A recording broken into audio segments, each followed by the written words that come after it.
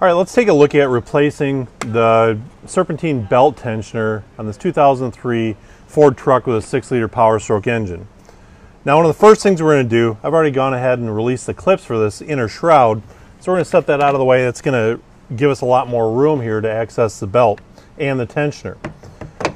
And so one of the things I want to make note of, if we're replacing the tensioner, let's go ahead and install a new belt as well.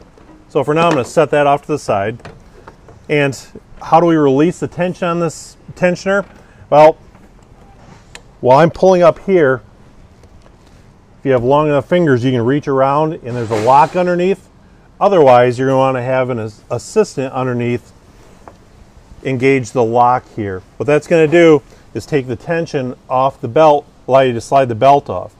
Now it's difficult to see here, so I'm not going to try and cut in on that. There's only two bolts holding this thing in place. There's a couple pegs that align it properly. But once you get these two bolts off, the assembly pops out. You install your new one, install our new serpentine belt on it, and then we're going to apply tension to it. This lock automatically will pop off, and you're good to go. Oh yeah, don't forget to install this shroud piece here. We want to keep this engine running properly and keep it nice and cool. So there, hopefully now you understand the procedure to replace the serpentine belt tensioner on your Ford truck with a 6 liter Power Stroke engine.